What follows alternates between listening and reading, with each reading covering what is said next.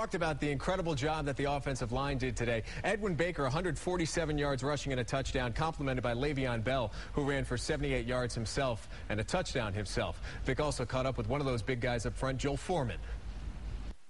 All right, thanks, Tom. Here with Joel Foreman, the senior center for this Michigan State football team. You guys absolutely dominated in that run game today. Just talk about how much fun that was. I mean, it, it was it was something that was awesome. You know, we uh, we came out here today really wanting to run the ball, and you know we had a slow start, but uh, you know we kept on persevering through all the uh, you know adversity, and you know they did a great job. They played hard, but uh, you know in the end we slowly wore them down, and uh, you know it was a it was an amazing thing to be out there and running the ball in front of all those people and hearing the green go green go white. So. All right, I'm this close to you. Have to ask if you had a chance to take care of that nose yet, or take a look at it at least.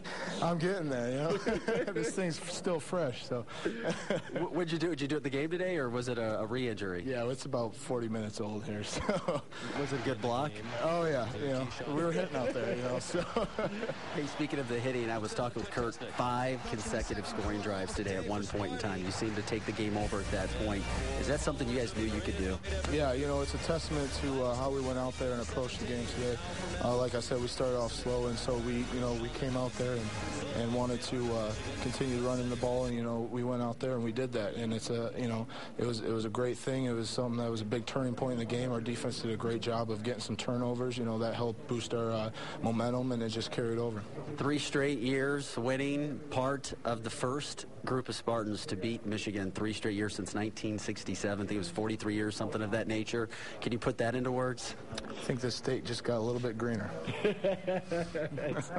and you're a Michigan boy at that, too. Oh, yeah. Oh, yeah. Is this something you've always dreamed about? Absolutely. I know. I told my dad when I was uh, eight years old, I said, you know, someday I'm going to play in that game. And I don't know if he really believed me at the time or not, but, uh, you know, it's been a, it's it's great to be able to play in a game like this and come out here and and uh, play against a, te- a, great team like that, and you know have uh, two t- top 25 teams play, and uh, you know it's a dream come true, and it's you know we uh, you know we just came out here and did what we had to do. All right, one last question, real quick. Talk about the team confidence now. You're six and zero, and a lot of people in the media, a lot of people, including fans, like to look down the road and say, "Wow, this Michigan State team could really go on a run." What is the ultimate goal right now? What do you think you guys can do? Beat Illinois. 1 0. That's all we want to do. Next week. We're concerned about next week. Coach D, as soon as we got in there, said we got Illinois next week.